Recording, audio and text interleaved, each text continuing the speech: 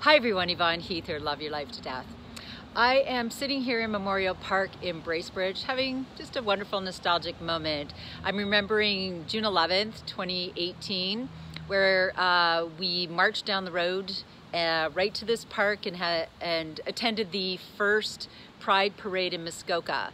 And I remember thinking at the time, I don't even know how many people will just show up.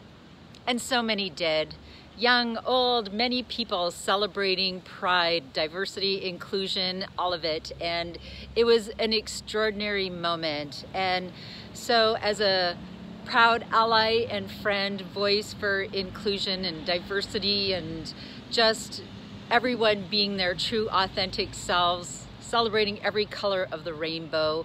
Um, I am here today. It is the middle of June, and June is Pride Month.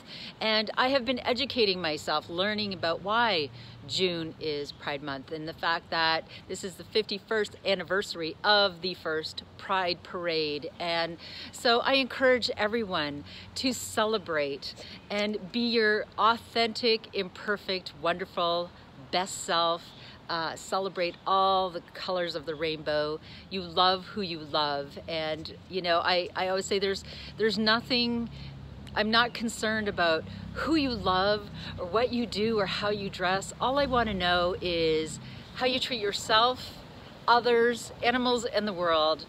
Otherwise, just do what makes your heart sing. Be who you are love who you are, your weird, authentic, imperfect self. I am weird. My kids tell me that all the time and I love it. so happy, happy Pride, everyone, and continue to celebrate, continue to grow, and uh, let's just love one another because that is the best and most important thing we can do. Bye for now.